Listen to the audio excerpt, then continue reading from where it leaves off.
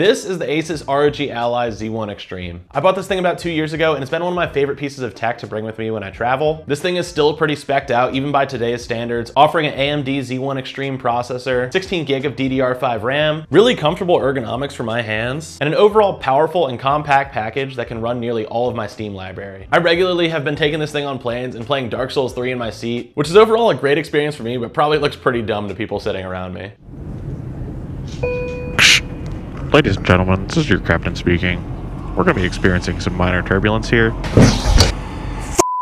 I'm a huge fan of the ROG Ally, and like I said, I've gotten a lot of playtime out of it, but it does have some major flaws that I'm hoping to address today with some mods. First and foremost, the elephant in the room is the battery life. And while this thing has plenty of power to play some of my favorite AAA titles, you're really limited to only like an hour and a half of unplugged playtime. So the first mod I'm really focused on is upgrading the battery from the 40 watt hour battery that comes stock in this thing to a 74 watt hour battery, nearly doubling the size. Asus has already addressed this issue in their new models, with the ROG Ally X having an 80 watt hour battery, but I definitely want to bump my battery life here to get my playtime over that two hour mark, so I don't have to worry about it dying on domestic flights. The second flaw of the Ally that I'm hoping to correct today is the cooling. This backplate is pretty closed off, and I've seen the CPU temps reach up to 90 degrees Celsius, which is not great for the hardware in the long run, and I got an aftermarket backplate that'll hopefully improve the cooling performance. The third problem is the storage. This thing comes stock with a 500 gig SSD, which in today's age is only good enough for like three to four AAA games. The Ally supports the small factor 2230 M.2 drives, so I'm gonna be bumping this from 500 gig all the way up to two terabytes. And lastly, maybe one of the most annoying things on here is Windows. While Windows gives you some of the most flexibility for using whatever game launcher you want, or even emulating games from other types of consoles, the pick up and play experience is severely hindered by the fact that Windows updates for like 10 minutes every time you boot it up. It just has a lot of bloatware running in the background, which I don't like, and it impacts my performance. And I've seen a lot of great reviews about this fork of SteamOS called Bazzite. So we're gonna be wiping Windows off of this thing and booting up Bazzite on our new two terabyte drive. So I have all the mod equipment to get this build underway. Let's go over to the desk and tear down this device. So for this build, you're gonna need three parts. I got all three of these on Amazon and I'll leave links below to each. First up is the handheld DIY backplate. I got this transparent clear one. And you can see here next to the stock base plate, it has way larger vents for cooling, which should hopefully help out with some of those high temps. Next up is the 74 watt hour battery pack. This little kit comes with the battery, a set of clippers for trimming your case, a few screwdrivers, and a little guitar pick to pry it open. And then lastly, I have this Western Digital Black 2 terabyte 2230 drive. Before we open up the Ally, you're gonna wanna make sure you back up any local saves. I had a save of Dark Souls 3 that's not backed up to the cloud, so I made sure to go into the corresponding game folder and back that up to my Google Drive so I can retrieve it later. Okay, and now for the teardown, you're gonna need a couple dishes to hold some screws. Flip the device over and use one of those included screwdrivers to start taking off the six screws on the back. And then you can take that blue guitar pick that's included with the battery pack and just work your way around the outside edges. This is my first time opening up my Ally and this thing popped right off. Set the back plate to the side and we're gonna start working on the internals. First off, you're just gonna wanna take off this black insulating sticker that's covering up the SSD. And then we're gonna wanna go ahead and disconnect the battery. It has a little metal clip that you need to slide up and then the battery connector will pop out towards you. Once you have that disconnected, we're gonna go ahead and unscrew the current drive. So again, just use that little screwdriver and pop out the 500 gig card. We're gonna go ahead and swap in our two terabyte drive here. So just pop that into place, tighten down the screw, and you're good to go. So for swapping the battery, we're gonna have to remove the old one here. There's a ribbon cable that you have to unstick from the back of the battery here. I didn't end up removing this during my build, but it has the same little metal clips if you wanna do so during yours. For unscrewing the battery, there's four screws in total. You have to take off these two at the top, and then there's one on the right side of the battery, and there's one on the left as well. Now with those screws out, you should be able to just pop the battery out of its spot. Make sure you store this in a safe place, and if you want to dispose of it, I'm pretty sure you can bring it to Best Buy and they'll do it for you. So the next part's a little intimidating. We're gonna have to take those clippers and trim out parts of the plastic case to fit the bigger battery. These two little boxes here I'm cutting out are gonna block the larger battery, so just work slowly and use those little cutters to cut those little plastic squares out. Again, this seemed a little intimidating to me when I was watching other people do it online, but honestly, it's really not that hard. The clippers included with the battery kit did a great job of cutting through the plastic, and as long as you take your time here and make sure you're not cutting any cables or scratching any of the PCBs, it should be a relatively straightforward process. Again, just work slow, make sure you're taking your time cleaning up all the edges. You don't want anything sharp to puncture the back of the battery. I did a decent job here to start. I'm gonna come back and clean this up later in the video. And then lastly, we're gonna take off this little pad that's covering this copper strip and just move it down like about a centimeter. If you don't do this, it's gonna get in the way of your battery and you won't have enough clearance to fit it inside the case. And then you can see here, I'm just dry fitting the battery to make sure I trimmed enough away.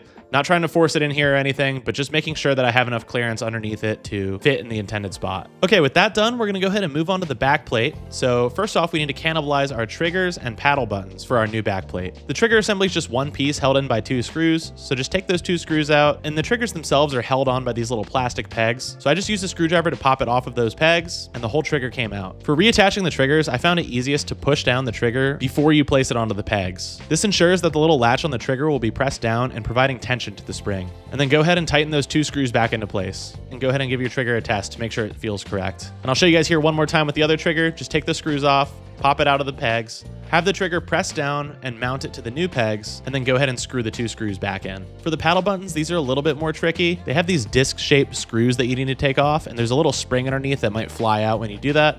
So just put that spring to the side, and then inside of here, there's a couple little tabs you need to press in in order to pop the button out from the other side. I just used a screwdriver and pressed each of them, and that button fell right out. And then for reassembling it, we're just gonna do the exact same thing in reverse. Pop the button into place, making sure those tabs go through the correct holes. Drop the spring into place, and then tighten down that screw on top of the spring. This button won't have that tactile click without being assembled, but just make sure it moves freely and isn't stuck on anything. And then I'll show you guys this one more time. Same thing, we're gonna take off the flat screw, pop out the spring, press on each of those tabs to push out the button, reattach the button from the backside on the new plate, drop the spring back in, and then tighten down the screw.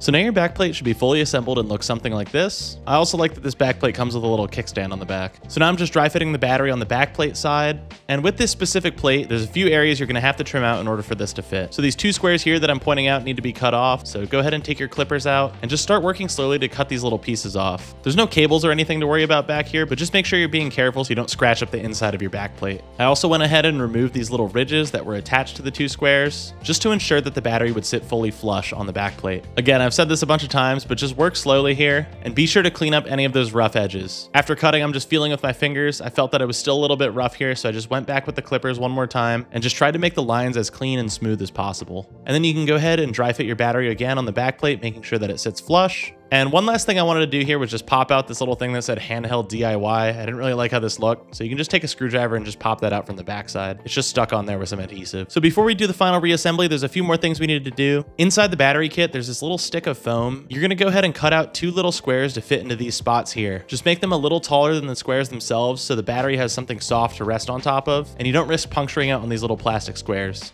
And then we can go ahead and finally slide our battery back into place, just pressing it down to make sure it's all flush and then go ahead and take that connector. It snaps down into the PCB from the top, and then you're gonna go ahead and lock that metal clip. I found it easiest to just use my fingernail and lock it back into place. Make sure you go ahead and stick that ribbon cable back onto the backside of the battery. And since we have a clear backplate, we need to go ahead and cover this little light sensor here. So I just cut out a piece of black electrical tape. The little black square on the right has a diode inside of it, and you just need to cover that up with this piece of tape in order to bypass that light sensor. I forgot to record this part, but make sure you put that piece of black insulating tape over the SSD, and then you can go ahead and snap your case back into place.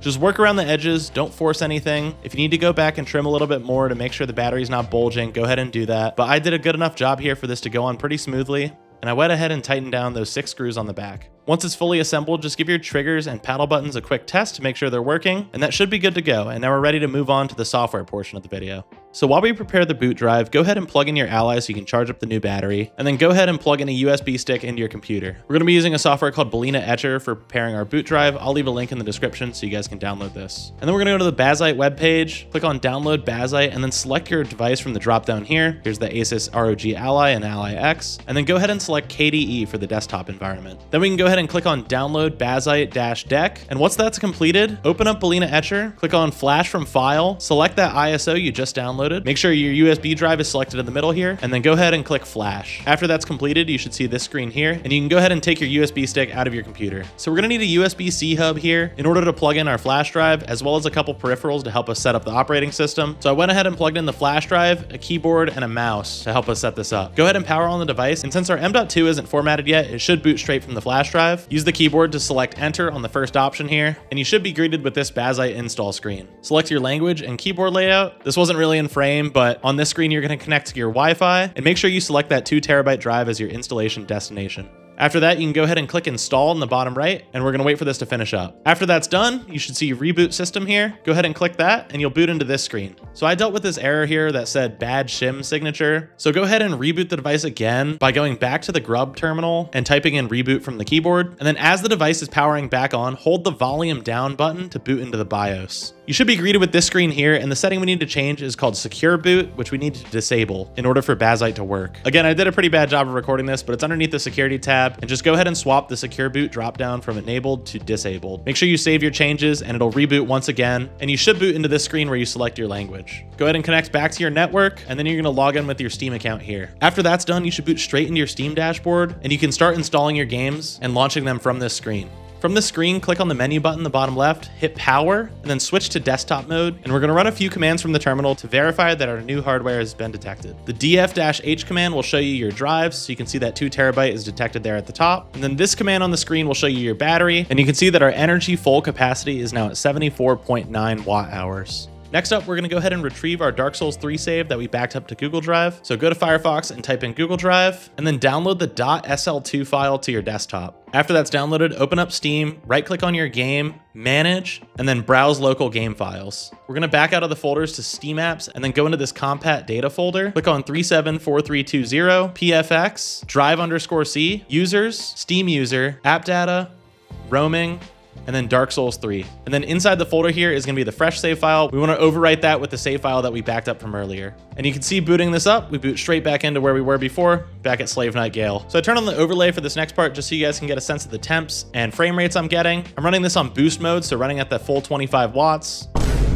And you can see I'm getting right around 60 FPS with the CPU and GPU temps right in the mid 70s. The lower temps unfortunately didn't help me defeat Slave Knight Gael, but you can see 72 on the GPU and 68 on the CPU is a lot better than the 90 degrees we were getting before. That was my full overhaul of the Asus ROG Ally Z1 Extreme. Obviously this set of mods isn't gonna be for everyone. If you already have an Ally X, you're probably more than fine with the stock battery and performance. And if you're playing on something like a Steam Deck or a Switch 2, it's probably not worth it overall to be taking it apart and trying to upgrade different parts of it. But I have a feeling a lot of people are probably in the same boat as me with this device, where you're seeing all of these new handhelds coming out like the Switch 2, and you really just wanted to squeeze a little bit more performance out of the Ally. Overall, I'm really impressed with how each of these mods performed. Obviously the storage was a huge upgrade for me, and really probably one of the easiest mods you can do. I got the Western Digital card for like 150 bucks on Prime Day, and I'm sure I'll find a use for that 500 gig card in another project. Something I wasn't expecting to perform so well was the backplate. While running Dark Souls 3 with the exact same settings of 1080p medium graphics, I was seeing CPU temps anywhere from 10 to 20 degrees Celsius Celsius lower. I honestly wasn't expecting these vents to provide that much more airflow, but I could legitimately feel the device pushing the air through the back vents, whereas before it was mostly just exhausting out of the top. Now the battery is a mod I knew I was gonna be happy with. It really is the Achilles heel of the Ally, and I'm super happy with how this mod turned out. Trimming the extra plastic out of the case was actually pretty straightforward, and the device is actually set up in a way where it's pretty easy to take apart and reassemble. There's only really a few screws that you need to undo, and it definitely looks a lot more complex than it actually is. And then lastly, I think my favorite mod of the entire video was Bazzite. This thing feels like a completely different device offering that pick up and play capability that I've been looking for. I love being able to have the device powered off and literally just press one button and I can boot straight back into Slave Knight Gael beating my ass. Overall, Bazzite had a really intuitive interface to navigate. I like the different options for overlays that you have to monitor your FPS and CPU temps. And I like that they included the desktop mode so you can switch over and manage your files like I had to do with my Dark Souls 3 save file. As always, if you have any questions about the Ally, different mods, Bazzite, or any issues you're running into, feel free to leave them in the comments below. This video took a ton of work to build, record, and edit, so a like would be greatly appreciated. And I'll see you guys in the next one. Peace.